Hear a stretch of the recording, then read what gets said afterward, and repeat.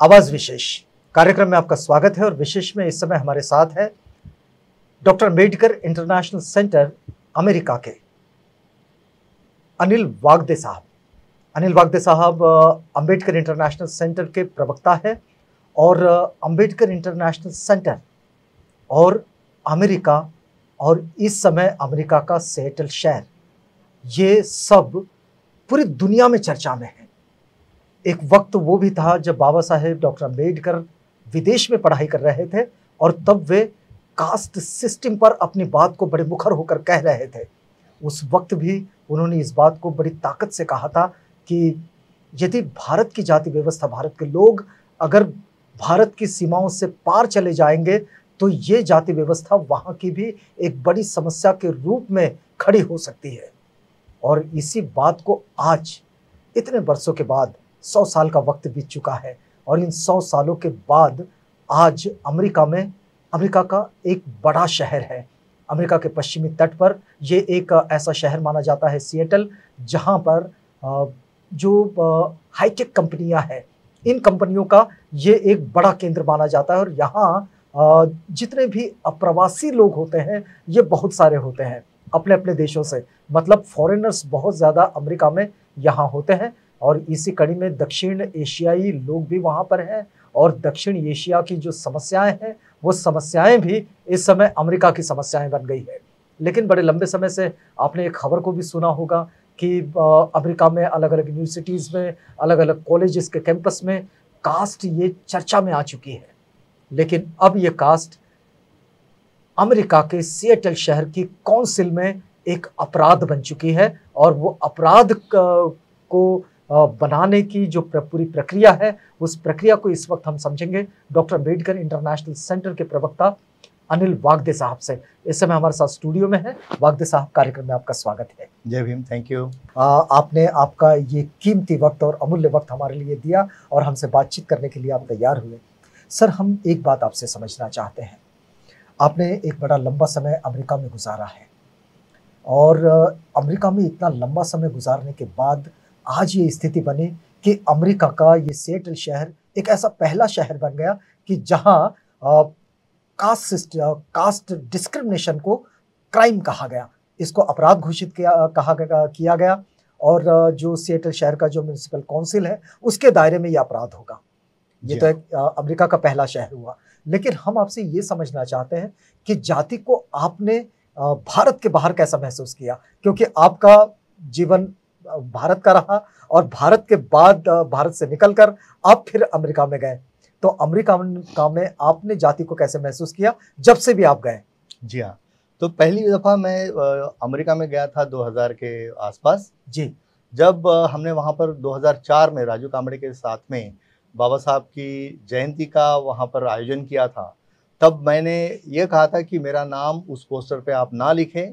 क्योंकि उस पोस्टर पे मेरा नाम देखते ही लोग ये जान जाएँगे कि मैं शेड्यूल कास्ट से बिलोंग करता हूँ और जो भी मेरे टीम मेंबर्स हैं वो उनका जो रिस्पेक्ट है मेरे तरफ़ वो कम हो जाएगा और इस तरह से हमको मतलब सतर्क रहना पड़ता था कि हमारी जाति लोग जान ना पाए जब ये 2000 में जब सिस्को का, का केस हुआ आ, 2000 में हाँ। दो हज़ार बीस में तब हमने इसके बारे में बहुत सारे संवाद, हमने बहुत सारे रिपोर्टर्स को बुलाया एक एक करके, और उनके साथ में जो लोग, जो जाति पीड़ित लोग हैं उनसे हमने वार्तालाप किया। तो लोगों ने अपनी भी जो कहानियाँ बताई, जैसे सिस्को में ही एक हमारा मित्र हैं, जो आज अंबेडकर इंटरनेशनल सेंटर के अध्यक्ष हैं राम कुमार जी, वो उनसे, उनकी कास्ट जानने की कोशिश भरपूर करता रहा, उसका एक देशी भारतीय मित्र। जब इसने मतलब बताने से इनकार किया या नहीं बताया तो एक दिन उसने धीरे से उसके बाएँ कंधे पे ऐसे हाथ रखा। राम कुमार तो जानता था कि ये क्या कर रहा है। उसके तरफ़ उसने देख के कहा कि नहीं मिलाना लोग इस तरह से आपको टच करके आप आप जनेऊ पहन रहे हैं कि नहीं पहन रहे हैं, आप मांसाहार करते हैं, नहीं करते हैं, आप कौन से टेंपल में जाते हैं, कौन से त्योहार वगैरह आप मनाते हैं। इस तरह से इन लोगों को ये, क्योंकि ये एक प्रकार की मानसिक विकृति है। कि आप मतलब किस, उसकी जाति जान के क्या कर लेंगे? वह एक इंसान है, आपका एक कलीग है, उसके साथ में काम करिए, लेकिन आप जाति जानकर, उसके बाद में जैसे ही आपको पता चले कि ये ब्राह्मण नहीं है, आपकी कास्ट का नहीं है तो उसके उसके ऊपर आप भेदभाव करते रहेंगे। जैसे एक और शादी हुई थी, और दुल्हन भारत में, भारत से दुल्हन वहाँ गई एक हमारी जो कलीग है नाम नहीं ले सकता तो जब वहाँ पे रिसेप्शन में पहुँची क्योंकि वो जो उसका हस्बैंड जो था लड़की का जो न्यूली मैरिड तो ये रिसेप्शन में गई तो लड़की पहले यही पूछती है कि आप आप कौन सी कास्ट के ये ये जो वार्तालाप जहाँ तहां हो, होते रहा है और सिस्को केस में तो हमने ज़ोर भर के देख लिया वो, वो तो सबके सामने रहा। वो तो एग्जैक्टली exactly. लेकिन वागदे साहब एक बात जो मैं समझना चाह रहा हूँ जैसे आपने 2002 का 2001 का 2003 का ज़िक्र किया कि जब आपने अंबेडकर इंटरनेशनल मिशन का काम शुरू किया हम्म। कि इस मिशन पर आप काम करने लगे और तब आपका आपकी भूमिका ये थी कि भाई मेरा नाम न लिखे लोग पहचान जाएँगे। क्या 2023 में भी आप इसी भूमिका में रहे? नहीं तो अभी हमारा मतलब काफ़ी अरसा बीत चुका है करियर थोड़ा सा पीछे है। हाँ। तो अभी हमारे समाज को ये इसकी भी ज़रूरत है कि कोई लोग आगे आके पुरजोर तरीके से अपनी बात आगे रख सकें। एक समय था कि जब हम आगे नहीं आना चाहते थे, लेकिन अभी हम हम अपनी बात पुरजोर से आगे रख सकते हैं, लोगों से बात कर सकते हैं। हम अपना, जब भी हम रिपोर्टर से यूएस में या कहीं पे भी जब बात करते हैं तो हम अपना पूरा नाम देते हैं। लेकिन अभी भी बहुत सारे लोग ऐसे हैं जिनको ये डर है, और ये डर अवास्तविक डर नहीं है। ये इनका सचमुच का डर है, क्योंकि जैसे ही लोगों को पता चलता है, लोग आपसे भेदभाव करना चा, चालू करते हैं। आपको अच्छे प्रोजेक्ट्स में नहीं लेंगे आपको जो स्टॉक ऑप्शंस वगैरह नहीं देंगे आपको निकालने की कोशिश कर लो, लोगों में लोगों में भी आपके बारे में बताएँगे कि अरे ये तो ये तो रिजर्वेशन से आया है ये तो कोटे से आया है ये तो एफर्मेटिव एक्शन से आया है। इस हम्म। तरह से तो आपको इन लोगों को स्पेशली जिनका करियर अभी बहुत उनसे बहुत आगे है तो उनको थोड़ा ध्यान से रहना पड़ता है। हमारा थोड़ा सा करियर अभी हम मतलब पचपन साल से भी ऊपर हैं और करियर हम हमारा पीछे है। और समाज की ये ज़रूरी भी है कि समाज के कुछ प्रवक्ता कुछ आगे लोग पुरजोर से अपनी बात रख सके। तो इसलिए हमने सोचा कि अभी हमने ये डर छोड़ देना चाहिए और हमने बात करनी चाहिए। आ, जैसा कि अभी आपने अफर्मेटिव एक्शन का ज़िक्र किया आ, हमारे यहाँ यहाँ जब हम अफर्मेटिव एक्शन की बात करते हैं तो लोग रिजर्वेशन कह देते हैं। और रिजर्वेशन को एक दूसरे नज़रिए से देखा जाता है कि भाई ये किसी एहसान की बात है। क्या अमेरिका भी अफर्मेटिव एक्शन को इसी तरह से ट्रीट करता है? ऐसा नहीं है लेकिन अभी एक जो जो इंडियन जो अमेरिका अमेरिका के राष्ट्राध्यक्ष बनने के लिए जो अपना दावेदार अभी है हाँ, हाँ। वो पुरजोर से बोल रहा है कि अफर्मेटिव एक्शन होना ही नहीं चाहिए।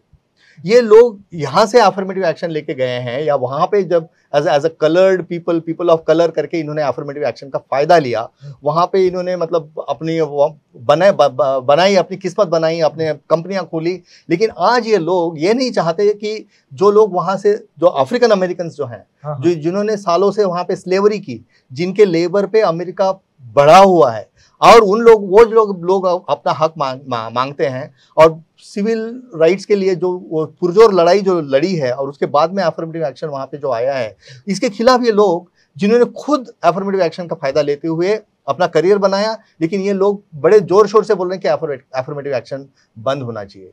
ये स्पेशली इंडिया से जो लोग जाते हैं तो बोलते ही हैं अरे ये तो कोटे से आए लेकिन इनको कोई दिक्कत नहीं है कि वहाँ पे पर्सन ऑफ़ कलर करके जो इनको मतलब सुविधाएँ मिलती हैं डाइवर्सिटी हम्म। के जो डाइवर्सिटी का जो दायरा है यूएस में जी, जी, जैसे यूएस यूनिवर्सिटीज में एक बोला गया है वहाँ पे जो निर्णय हुआ था सुप्रीम कोर्ट कोर्ट का कोर्ट का निर्णय हुआ था कि आपके क्लासरूम में उस तरह के सदस्य होने चाहिए जैसे बाहर में सोसाइटी है अगर मान लीजिए कि बाहर में आपके पंद्रह परसेंट अफ्रीकन उसी का रिफ्लेक्शन उसी का रिफ्लेक्शन आपके क्लासरूम में हो ताकि क्लासरूम की जो बहस होगी हम्म। जो भी एक दूसरे से मिलेंगे आवाजाही जो भी तो वो उसका सोसाइटी का रिफ्लेक्शन होना चाहिए ये नहीं कि आप मान ली सारे लोग सारे बच्चे श्वेत के ही हैं हम्म। या सारे ही अश्वेत के वो बराबर होना चाहिए और उस तरह से अफर्मेटिव एक्शन का वहाँ पे इजाद हुआ या इस लोगों ने एक्सेप्ट किया और यूनिवर्सिटीज में इस तरह की करते हैं लेकिन जो लोग यहाँ से गए हैं उनकी मानसिकता इतनी बिगड़ी हुई है कि वो तो वो तो मतलब खुद को बड़े श्रेष्ठ समझते हैं ब्राह्मण ब्राह्मणिज्म जिसको हम बोलते हैं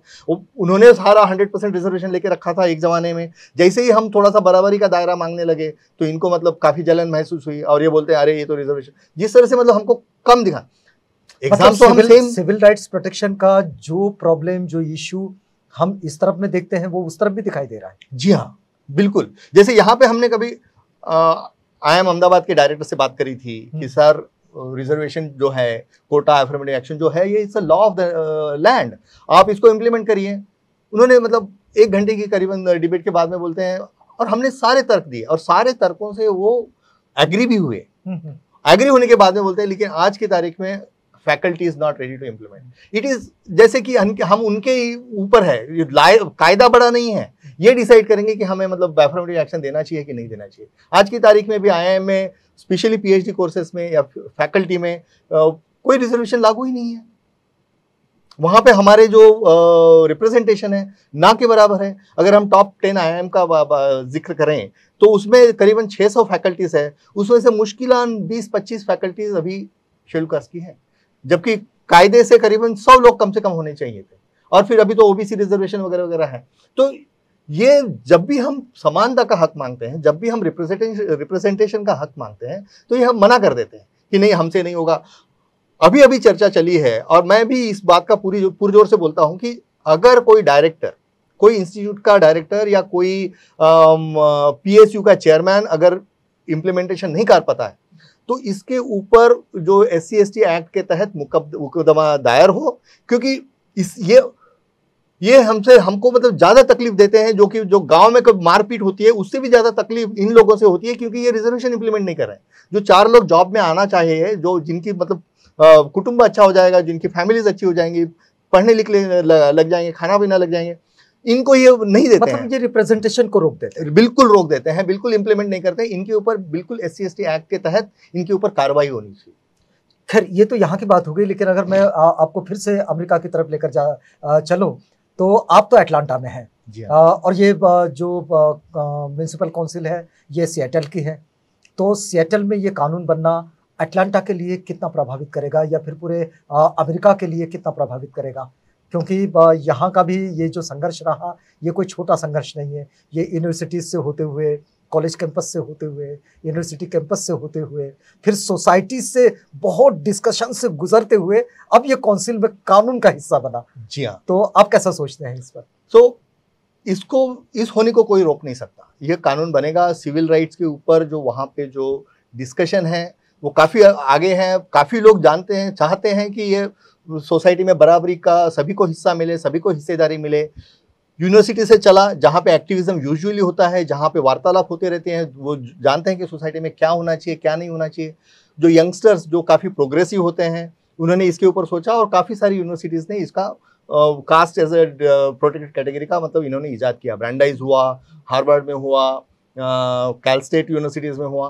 तो ये यूनिवर्सिटीज़ से चालू हुआ, जहाँ पे विचार मंथन अक्सर होता है और धीरे धीरे ये आगे बढ़ता गया। ऑफकोर्स इसको जो जो इजाद यहाँ से अगर मिली तो वो सिस्को केस से मिले। सिस्को केस से एक नया डिस्कशन चालू चालू हो पड़ा कि ये ये जो वास्तविकता इंडिया में है हर इंडियन जानता है कि इस तरह की चीज़ें हैं और काफ़ी लोगों ने सोचा कि ये होना चाहिए और यूनिवर्सिटीज़ में ये काफ़ी फैला। सेंटा क्लारा सिटी में पिछले साल इसको पास करने की कोशिश की गई नाकाम रही। क्योंकि शायद हम मतलब पूरा पुरजोर से को, कोशिश नहीं कर सके हम सबको शायद शायद साथ में नहीं यहाँ शायद इस बात को रखने के लिए काउंसिल मेंबर क्षमा सावंत। भी क्षमा तो मैं थोड़ा सा थोड़ा पीछे जाना चाहूँगा। जब जो 2020 में जब सिस्को केस बना और उस वक्त हमने जो संवाद वहाँ के रिपोर्टर से हमारे कम्युनिटी से हमारे ऑर्गेनाइजेशन से जब हमने संवाद बनाया और रिपोर्टर से बात करके ये कास्ट का जो ज़िक्र हर अखबार में न्यूयॉर्क टाइम्स वाशिंगटन पोस्ट ऐसे ऐसे बड़े बड़े अखबारों में इसकी चर्चा होने लगी इसके ऊपर ऑपेट्स ऑपेट्स आने लगे। आ, उसके बाद में हुआ ये कि हिंदू अमेरिकन फाउंडेशन जो वहाँ की आरएसएस की विंग है या वीएचपी की जो विंग है तो उन्होंने ये कहा कि ये केस हिंदू धर्म को खिलाफ है, हिंदू धर्म का की निंदा करता है और रिज़र्व रिलीजन जो है, धर्म जो है, वो प्रोटेक्टेड कैटेगरी में आता है तो इसलिए ये केस खारिज होना चाहिए। जब एच एफ़ वहाँ पर कोर्ट में खड़ा हुआ कैलिफ़ोर्निया सुपीरियर कोर्ट में, तब हमने भी एमिकस ब्रीफ फ़ाइल किया on the basis on behalf of Ambedkar international centre यह कहते हुए कि, देखिए, हमें रिलीजन से इसका कोई लेना देना नहीं है। कास्ट एक वास्तविकता है, इंडिया में भी है और यहाँ पर भी है। कास्ट डिस्क्रिमिनेशन भी एक वास्तविकता है और ये कास्ट डिस्क्रिमिनेशन हुआ है। इस केस को आप खारिज नहीं कर सकते, आप इस केस को रिलीजन के बाहर रखें, क्योंकि रिलीजन प्रोटेक्टेड कैटेगरी हम रिलीजन के बारे में, ये कहाँ से बनी, किसने इसको ये स्थापित किया, इस, इसमें नहीं जाना चाहते क्योंकि वहाँ का लॉ हमें अलाउ नहीं करता। तो हमने सिर्फ़ कास्ट पे रखा कि कास्ट है, वास्तविकता है, कास्ट डिस्क्रिमिनेशन है और इसके ऊपर इसको केस को खारिज नहीं कर सकते। वहाँ से जो संवाद बढ़ा तो जब एमिकस ब्रीफ में हमने मतलब काफ़ी सारी अंबेडकर एसोसिएशंस काफ़ी सारी एक्टिविस्ट ये काफ़ी मतलब बातें चलती रही और वहाँ से फिर इक्विटी लैब्स का अपना भी सर्वे भी रहा ना एक? एक इक्वलिटी लैब्स में एक सर्वे भी किया था जिसमें उन्होंने मतलब काफ़ी जो जो शेड्यूल कास्ट लोग हैं उनसे पूछा कि उस उनके ऊपर कितना कितने अत्याचार होते हैं तो उस उस हिसाब उस उस रिपोर्ट के हिसाब से चार में से एक एक आदमी पे वहाँ पे कास्ट के ऊपर अन्याय होता है। तो वो रिपोर्ट भी प्रस्तुत है वहाँ पर और जिस रिपोर्ट का ज़िक्र काफ़ी बार काफ़ी सारे कोर्ट केसेस में वगैरह वगैरह होता है। लेकिन अंबेडकर संगठन जो है जो एक्टिविस्ट जो लोग हैं वो भी साथ में जुड़े। यह ज़रूरी है कि आप लोग जब जैसे जैसे सियाटल का जो केस हुआ जनवरी 21 को इसको क्षमा सावंत जी ने यहाँ पे प्रस्तुत किया सिटी काउंसिल में। उनके उनके काउंसिल में। काउंसिल में। उसके बाद में जो डेमोक्रेटिक प्रोसेस जो है वहाँ पे इतने बढ़िया से चलता है कि हर मंगलवार को इस केस के ऊपर आप वहाँ पे जाके 12 बजे आप अपना लिख सकते हैं कि मेरे को बोलना है।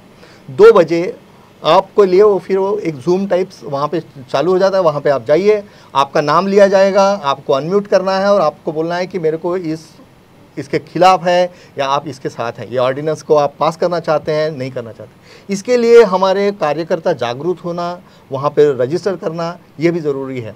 जैसे चौदह तारीख को करीबन 160 रजिस्ट्रेशन थे। लेकिन बोलने का मौका सिर्फ़ करीबन सत्तावन साठ लोगों को मिला। उसमें से करीबन तीन लोगों को छोड़ के बाकी सभी ने इस ऑर्डिनेंस का सपोर्ट किया। बोला कि ये ऑर्डिनेंस पास होना चाहिए। हमने जब एमिकस ब्रीफ जब हमने फ़ाइल किया तो हम तो कार्यकर्ता ठहरे हमने अपने प्रोफेसर्स को इकट्ठा किया था। Professor Annapurna Vagure professor Gaurav Pathania professor Lalit Khandare professor Tanoj Meshram इन सबको कि ये जो एमिकस ब्रीफ हम लिखने जा रहे हैं ये आप देखिए कि ये बराबर है या नहीं है। क्योंकि हम तो उसमें पुरजोर से लिखना चाहते थे ये इसका जन्म कहाँ से हुआ इसका हिंदू धर्म से हुआ लेकिन हमारे वहाँ के जो लॉयर्स हैं उन्होंने मना किया कि आप इस तरह से नहीं लिख सकते। तो हमने एक कोएलेशन बनाया था जिसमें हमारे एकेडमिक्स भी हिस्सा ले रहे थे। तो इस बार भी हमने सारे एकेडमिक्स को आपको अज, मतलब अचंभित रह जाएँगे। करीबन 70-80 एकेडमिक्स ने सियाटल सिटी काउंसिल को लिखा कि इसको पास करना ज़रूरी है। उनको उनको वैसे भी यूनिवर्सिटीज़ में तो काफ़ी डिस्कशन हो ही रहा था। तो करीबन 170 प्लस सिविल राइट्स ऑर्गेनाइजेशंस में ऑर्गेनाइजेशंस ने सियाटल सिटी काउंसिल को लिखा कि ये पास होना चाहिए। हमारे अंबेडकर कार्यकर्ता ने वहाँ पे जो सुबह दो बजे वहाँ पे सियाटल सिटी काउंसिल के सामने बर्फ़ में लोग खड़े रहे। क्योंकि होता यह है कि जो ब्राह्मणवादी जो संस्थाएँ हैं, ये ट्रक भर भर के लोग, लोगों को लेके आते हैं और फिर बाकी के लोगों को बोलना ही नहीं, बोलने का मौका ही नहीं मिलता। इसलिए हमारे कार्यकर्ता वहाँ पे दो बजे से खड़े थे कि पहले हमें मतलब जब भी दरवाज़ा खुलेगा आठ बजे तो हम जाके अपना रजिस्ट्रेशन वगैरह करेंगे सो दैट हमें मौका मिलना चाहिए बोलने के बाद। और वहाँ पे जो इतना ओवरवेलमिंग जो सियाटल सिटी काउंसिल में इतना ओवरवेलमिंग था इतने लोग कुछ कैलिफ़ोर्निया से लोग गए राम कुमार जी जो अंबेडकर इंटरनेशनल सेंटर के जो अध्यक्ष हैं तक्षक चांदे ये सब लोग वहाँ पे पहुँचे कैलिफ़ोर्निया से वहाँ से लोकल लोग। वहाँ से लोकल सिख समुदाय, रविदासी समुदाय के लोगों ने भी इसमें पूरे ज़ोर से हिस्सा लिया। उन्होंने कनाडा से लोग हमारे रविदासी के जो धर्म के लोग हैं, वो वहाँ पे आए कनाडा से। तो इस तरह से वहाँ पे जो माहौल बना, वो माहौल देखने लायक था। जो जय भीम के जय जय जय जय जय भीम जय भीम के जो नारे लगे, हम तो यहाँ से देख रहे थे, रोंगटे खड़े हो गए। तो ये माहौल बनाना, कार्यकर्ताओं को लाना एकेडमिक्स को लाना ऑर्गेनाइजेशंस को लाना यह सब सभी अंबेडकर जो ऑर्गेनाइजेशन है सभी इकट्ठा आके इन्होंने पुरजोर से हिस्सा लिया। जो ब्लैक लाइव मैटर जो बीच में चला था ब्लैक लाइव मैटर उसमें भी जो सिविल राइट्स के बारे में और ये कास्ट के बारे में फिर लोगों को और भी जागृति हुई। तो एक पूरा ये पिछले दो दो तीन सालों से जो जो एक्टिविज्म चला है after Cisco case the resolutions being passed in universities academics writing about it in op-eds and things like that activists talking to the reporters uh, writing in new york times washington post and all, all of these uh, important uh, publications there so all of that has kind of culminated into this this of course we had some setbacks in the santa clara county और सब ने मिलकर इसे फिर इस अंजाम तक पहुंचे इस एंड हम भले ही बोलेंगे कि शेड्यूल कास्ट दलित बट हमें जो ब्राह्मण लोग हैं उनका भी काफ़ी सहयोग मिला है। जो लोग लिबरल हैं जो चाहते हैं कि यह गलत है क्षमा सावंत खुद भी ऊँचे समुदाय से सो कॉल्ड ऊँचे समुदाय से हैं या ब्राह्मण समाज से हैं। लेकिन उन्होंने भी और बहुत सारे ऐसे लोग हैं जिन्होंने इसका पुरजोर समर्थन किया अच्छा एक एक बात वागदे साहब मैं इसी से जोड़कर आपको पूछना चाह रहा हूँ। ये जो डिस्क्रिमिनेशन है ये आपने सिर्फ़ कास्ट बेस्ड देखा है या फिर इसको अनटचेबिलिटी के रूप में भी देखा है? सी आप, आप, आपका ऑब्जर्वेशन कैसा या सो अनटचेबिलिटी तो वहाँ पे हो ही नहीं सकता। अनटच। आप मतलब अनटचेबिलिटी का इंडिया में भी अभी पुरजोर से वो तो कानून से अपराध है वहाँ पे भी अनटचेबिलिटी तो खैर नहीं है। ये क्या हो रहा है कि caste discrimination is getting a little sophisticated थोड़ा सा। हल्का सा सोफिस्टिकेटेड होता मतलब है। इसका स्वरूप बदलता जा स्वरूप बदलता जा रहा है। थोड़ा सा स्मार्टनेस कि आपको कोई आके गाली नहीं देगा कि अरे तू तो जो भी मतलब ऐसा ऐसा नहीं करेंगे। लेकिन वो जानना चाहते हैं। हम हमें इस तकलीफ़ इसलिए है कि जानना चाह के करना क्या चाहते हो तो जानकर इनका यही है कि जैसे वहाँ पे ब्राह्मण सभाएँ बनी हैं रेड्डीज़ का कुछ है कुछ हर हर हर जाति का वहाँ पे वहाँ पे अलग अलग समुदाय हैं। तो जैसे बाबा साहब ने अपने निबंध में लिखा था कास्ट में वो अपने दरवाजे जब बंद कर लेते हैं तो आप दरवाजे के बाहर हो गए। तो इस तरह से ये जब अपने संगठन बना लेते हैं कि ब्राह्मण सभा या जो कुछ भी सभा तो बाकी के कास्ट के लोग बाहर हो गए। तो जो मौका, जो ऑफ़िस में स्पेशली आप घर पे क्या करते हैं इससे हमें कोई लेना देना नहीं। आप घर में जिनको बुलाना है उनसे उनको बुलाइए। पब्लिक पब्लिक कार्यस्थल पे जहाँ पे ऑफ़िस में जहाँ पे पब्लिक प्लेसेस में आ, आ, आपको जो रेंटल प्लेसेस में आप हमको कास्ट के बेसिस पे डिनाई नहीं कर सकते। तो इस तरह से ये जो जो दरवाज़ा बंद करने का जो एक कार्यक्रम एक प्रकार पे हम हम पे लादा जाता है कि एक बार अगर आपकी जाति मेरे को पता पता चल गई तो आपको प्रमोशन दूँ नहीं दूँ आपको अच्छे प्रोजेक्ट पर लाऊँ नहीं लाऊँ ये क्यों चाहिए? आप पूछते क्यों हो? आप जानना क्यों चाहते हैं? इससे क्या क्या होगा? क्या क्या कर लेंगे? अगर मतलब कुछ अच्छी चीज़ होती तो ठीक भी है।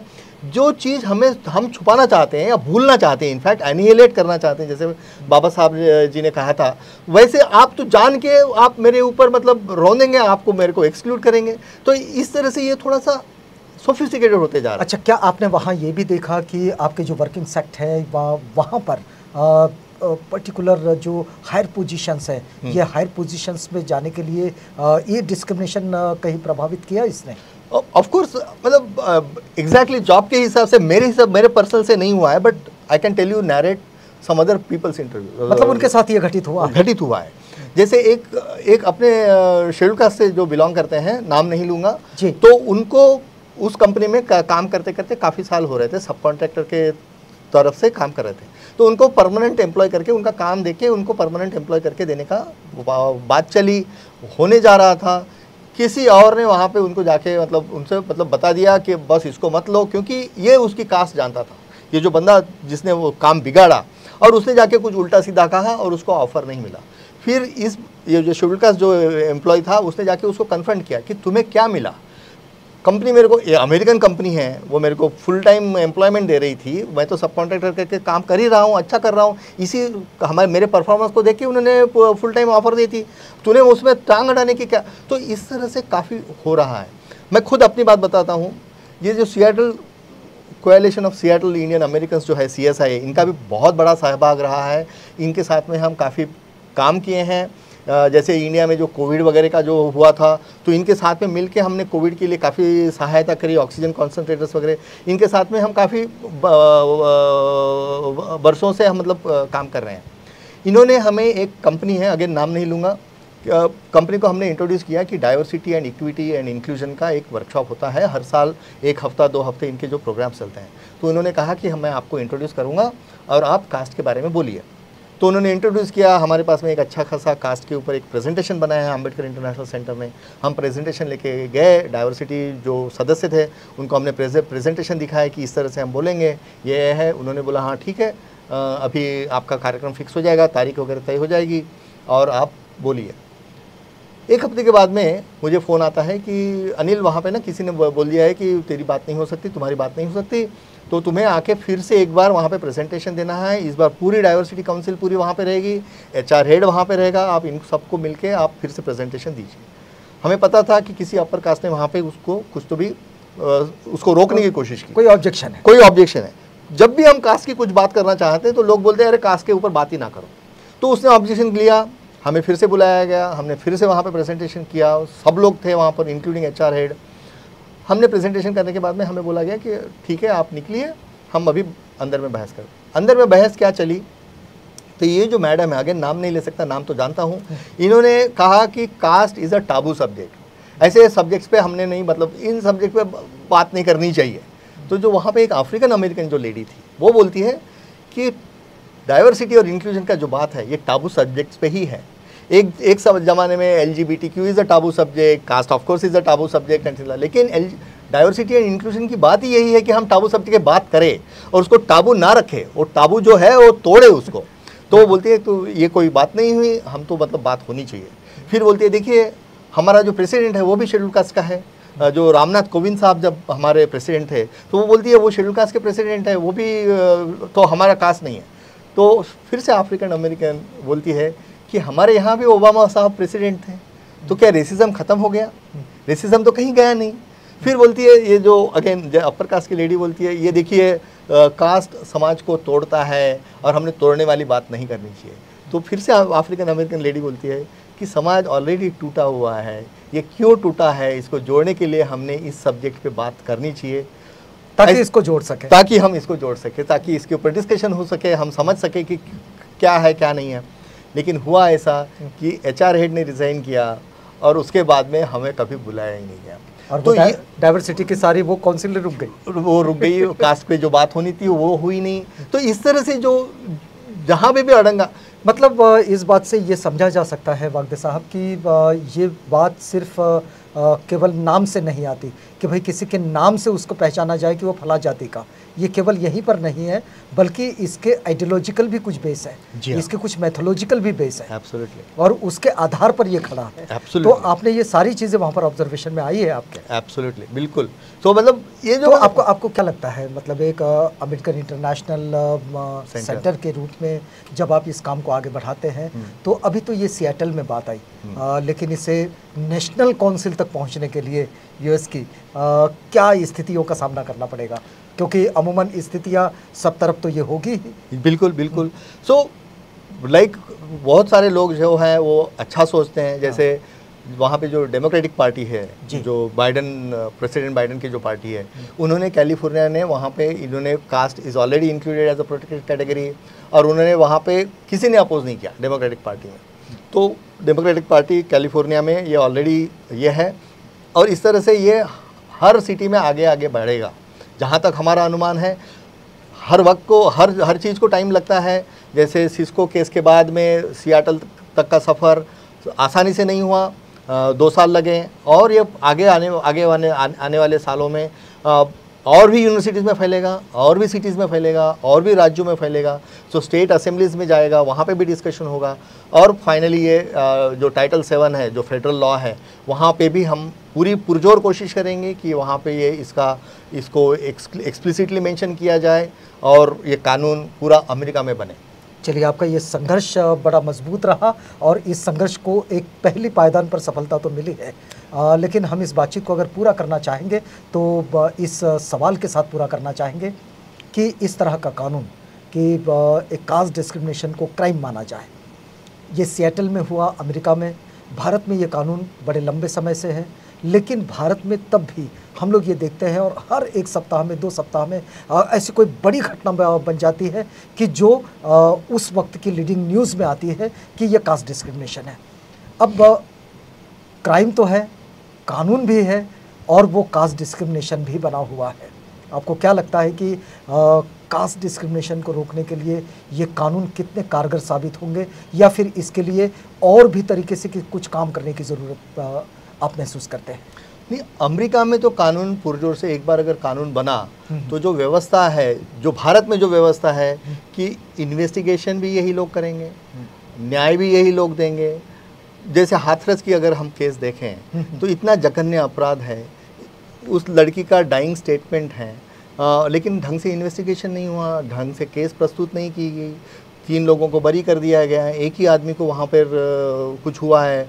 और जिस तरह से हमने पिछले हिसाब से देखा है कि जैसे जैसे आप ऊपर के न्यायालयों में जाओगे तो उनको भी छोड़ देते हैं या तो फिर कम कर देते हैं। तो इस तरह से अक्सर इंडिया में होता है क्योंकि पूरी समस्या में ये कैंसर, कैंसरग्रस्त है कि जो इन्वेस्टिगेशन आप लोग करेंगे न्यायालय में भी आपके लोग हैं, वकील भी आप ही के लोग हैं, आप डिसाइड करेंगे। एक अगर रेप किसी पे भी होता है तो of course is rape is a rape but अगर वो जो सवर्ण औरत पे हो तो उसके कठोर ये होता है और शिक्षा होती है, उसका हर अखबार लिखता है। लेकिन अगर शेड्यूल की लड़की है या ऐसा कुछ है तो इसके ऊपर बराबर बहस नहीं होती, ना उसका बराबर शिक्षा भी शिक्षा भी नहीं मिलती। लेकिन अमेरिका में पूरी व्यवस्था इस तरह से नहीं है। वहाँ पे भी जो भी जूरी सिस्टम है, जो भी सिस्टम्स हैं तो अगर एक बार कोई अगर न्यायालय में जाएगा तो न्याय ज़रूर होगा। इस इस लोग ये जो upper caste so called upper caste जो लोग हैं इन्होंने ये जान कर करना चाहिए कि ऐसी अभी जो लॉ बना है इसका पूरा सम्मान करें। अगर लॉ को ये तोड़ेंगे तो इनको उसका भुगतान ज़रूर करना पड़ेगा। इंडिया मतलब, का मतलब पनिशमेंट भी पनिशमेंट भी रहेगी। इंडिया समान नहीं होगा कि आप कुछ भी कर लो और कुछ नहीं हो सकता वैसा अमेरिका में बिल्कुल चलिए इस बातचीत को मैं पूरा करना चाहूँगा। एक कंक्लूडिंग रिमार्क अगर मैं आपसे लेना चाहूँ इस पूरी घटना पर तो क्या रिमार्क होगा आपका? नहीं मेरे को मतलब कुछ लोगों को जो क्षमा सावंत जी हैं हम्म। उनका धन्यवाद देना चाहूँगा बिल्कुल आप दीजिए coalition of Seattle Indian American जो संस्था है हम्म। जिनके साथ में हमने कार्यरत रहे हैं जिनसे तो जिन्होंने इसके बारे में बड़ा बहुत अच्छा काम किया मिल के जो Ambedkar Ambedkar Kings study circle Ambedkar association of North America Equality Labs और बाकी भी रविदासिया समाज इन सब लोगों ने जो सब मिल के जो ये किया है ये आगे भी करते रहें मैं अप, हमारे पॉलिसी एडवाइज़र सुमित आनंद जो जिनके दिन रात इस पर मेहनत की, की मीडिया कॉन्टैक्ट्स लाए एडिटोरियल्स लिखे उनका भी धन्य धन्यवाद देना चाहूँगा।